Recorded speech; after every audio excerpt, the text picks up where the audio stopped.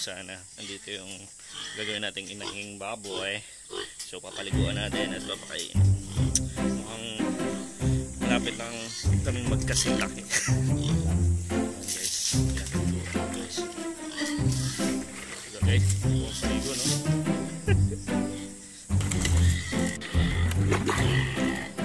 oh ligo. Mm. yan guys yung dito ito naman ang alaga ng tsahin ko. Ayan, inahin. Ayan, mga bulaw. Ayan, ayan mga bulaw guys. Cute, diba? Hmm. Labing dalawa. Ayan guys. Ayan yung alagaan natin. Nalagaan ng brother ko. Tinutulungan ko lang siya dito habang ako ay bakasyon.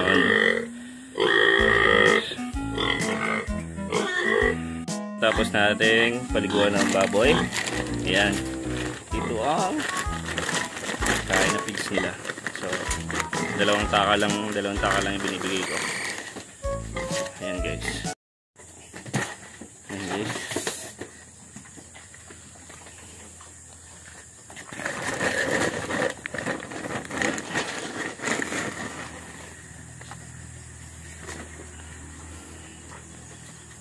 Huh.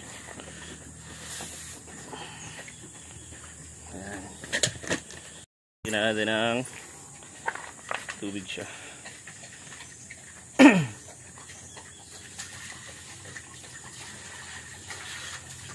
guys, yung nag-aalala, uh, nag-aalaga, tumataba na rin.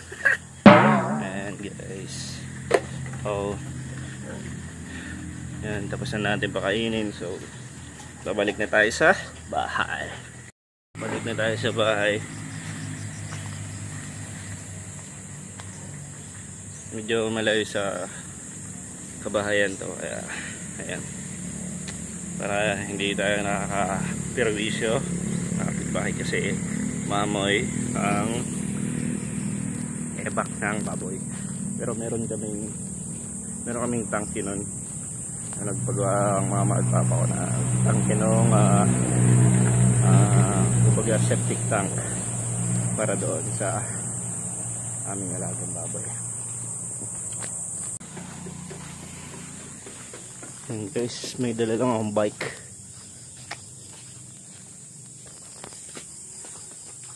uh, dito yung lumang bahay namin and guys kakain na tayo ng breakfast ngayon meron tayo ditong fried egg na may sibuyas at kamatis at saka uh, corn beef with egg. Kain tayo guys. Nandito tayo ngayon sa ano, sa palengke dito sa Morelion Box. Yan. Dito kita niyo ang dami. Ang ganda sa dulo 'yan. Ay okay na sa